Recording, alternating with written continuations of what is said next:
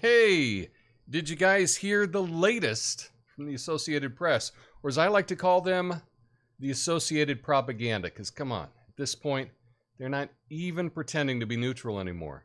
It's like they've gone from being journalists to being Kamala Harris's personal hype team. You got J.D. Vance giving a speech in Phoenix about how school shootings are a terrible reality. And the AP reports he called them a fact of life. Yeah, that's what they ran, because apparently adding context just a little too much work. You know, like how saying I love you without the but as a friend can really change the whole meaning of everything, right? so Vance is clearly saying, I don't like that shootings are a fact of life and that we need better security to deal with it. Not exactly controversial, unless you're the AP, in which case, nuance is scarier than Biden when he doesn't get his nap. Then, of course, the internet erupts, and only after the backlash do they update the story. Like, oops, uh, we left out the part where Vance is an sociopath. Our bad. It's like reporting someone said, I'm not racist, but leaving out the not. Oh, sorry, that must have been a typo. Meanwhile, Kamala Harris is over here talking about getting rid of cops in schools. I don't know about you, but if I'm a psycho looking to make headlines, the words gun free zone would sound like an open invite. But you won't see the AP taking that out of context. Oh no, Kamala can say anything. She could she could stand up at a rally and say I support spontaneous combustion. And they'd be like, bold stance on renewable energy, Queen. But hey, we've been here before, right? It's all part of the new media playbook. Misquote the Republican, ignore the deep state puppet, and hope nobody notices. You know what's really sad though? At this rate, it's not just the news that the AP is getting wrong. It's reality. And the real fact of life is the Associated Press is like a broken clock, except they're not even right twice a day. My name's Tom Coffey. This is the Coffee Nuance Show, the least watched, censored, commentary, and news show. Right now, flame on.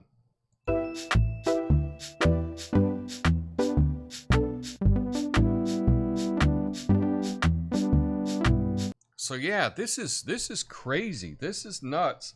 And uh, you may ask yourself, Tom, on this September 6th, 2024, I thought last week you talked about fact checking being pointless. Yes, and I will I will get to that. But first, I'm on all the socials at Coffee and Nuance. Please follow me somewhere else. Who knows how long it's going to stick around on the platform that you're walk, watching me at right now.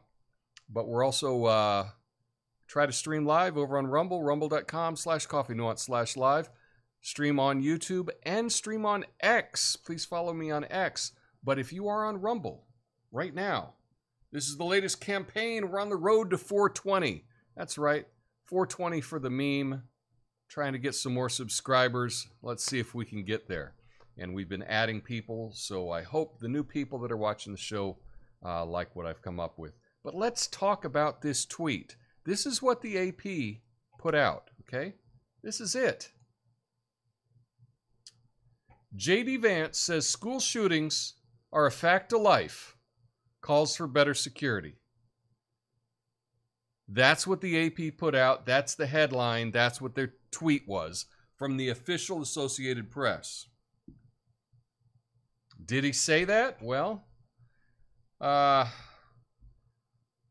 looks to me it's intentionally dishonest because he said, I don't like that this is a fact of life. I don't like that this is a fact of life. But if you're a psycho and you want to make headlines, you realize schools are soft targets and we got to bolster security at our schools.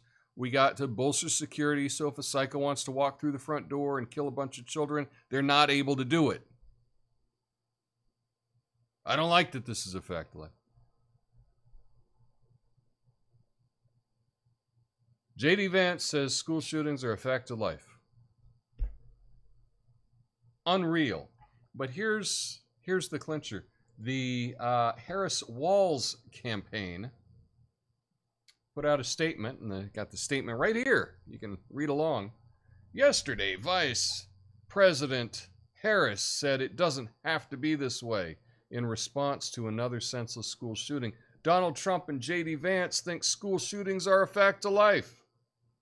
And, quote, we have to get over it. Now, you may not like some of the things that Donald Trump has said. Maybe you didn't like the thing that he said in private on a bus like 12 years ago. I don't know of a single thing that he's ever said that is as vile and disgusting as misquoting somebody to scare voters, to scare parents, to, to imply that J.D. Vance and Donald Trump just say, ah, got to get over the school shooting. It's a fact of life. That is so vile and disgusting. I can't think of anything that they've said that uh, Vance or Trump has said that's worse than that.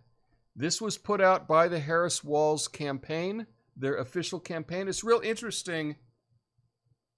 It's as if they knew the AP was going to be doing this misquote. It came out really quick. Like it was coordinated, but I don't know. Figure that out for yourself.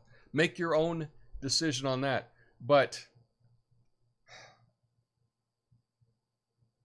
to scare parents, I find this absolutely vile. I wish I had a better vocabulary. I would run through a laundry list of how awful I think that this is. So it's not just the Associated Press. Who is the Associated Propaganda?